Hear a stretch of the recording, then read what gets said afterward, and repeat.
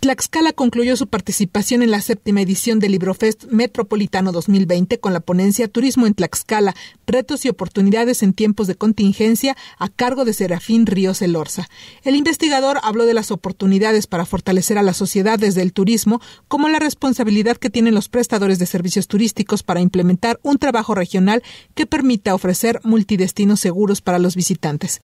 En el caso de Tlaxcala se están haciendo varias cosas, pero yo en lo personal destaco lo que en el Colegio de Tlaxcala estamos haciendo actualmente al tratar de ir conformando, formalizando una red horizontal de turismo biocultural, donde estamos trabajando con cuatro municipios, el colectivo del Colegio de Tlaxcala que conforma el Centro de Estudios de Ambiente y,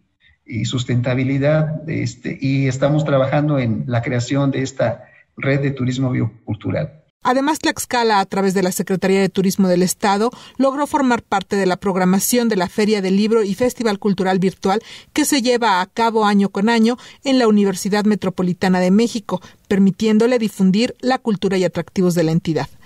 Para ahora noticias, Lorena Temolsin.